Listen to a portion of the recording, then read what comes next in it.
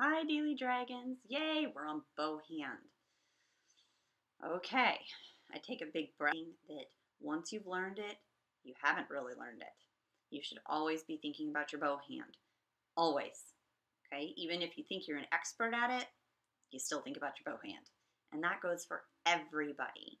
People who are masters and been playing for years and years and years and years still think about their bow hand. We put a lot of brain power into this. I'm going to take my pencil, I'm going to take this left hand, which is not my bow hand. You know, the right hand's your bow hand.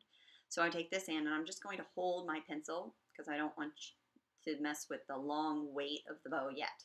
Okay, so here's one way to hold your bow. Notice it's at an angle.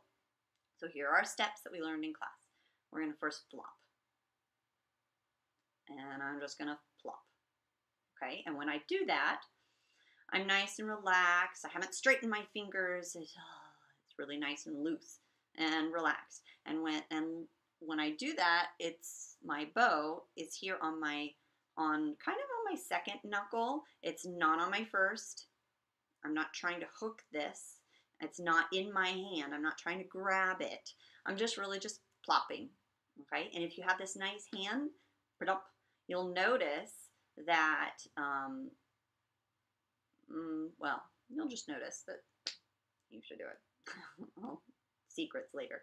Now, you see this thumb that's hanging out here? I'm going to bend that thumb and hide it behind my second two fingers. So I bend it so that you could see my fingernail. And then I hide it on the, the tip of my thumb, thumb. The tip of my thumb is touching the stick. Okay? And then I take my pinky and only my pinky and this is a beautiful bow hand. I have this beautiful bow hand, and now I'm going to let go, and I'm going to flip it upside down. And this is what you should see. Okay, you should see a hole here. Mm -hmm. You shouldn't see it closed. We should see a big hole. And if you don't have that, think of holding a ball here. Well, that'll help open up that hand. My pinky is on top. My fingers, now notice this angle. If I'm holding this, notice my knuckles are pointing to my nose. You want your knuckles pointing to your nose. And this is just, this is my sleepy finger. Okay. Now, if I take, I'm holding this and I'm seeing, showing you, this is where my thumb is touching. Okay. It's not really top, top like that. It's kind of right there at the, the corner, kind of where my, um, uh, where I would stop cutting my fingernail. Okay. And while I'm thinking about it, Make sure you've cut your fingernails nice and short because you can't sink into strings and you can't have a really nice thumb bow hold um, with that. So here's another way to learn it. So first way was angle, plop, hide, pinky on top. Okay? The second way that I'm going to teach you is I am going to hold it like this. So I'm going to take it, take that bow hand. For some of you, this makes more sense. I'm going to take my bow hand. I'm going to bend my thumb not totally, just a little bit. And then I'm going to say, hey, can't hear you. So my thumb is now, now kind of up. I'm going to then place it. Then I'm going to go flop, plop, pinky on top. And that gives me a nice bow hold too. All right.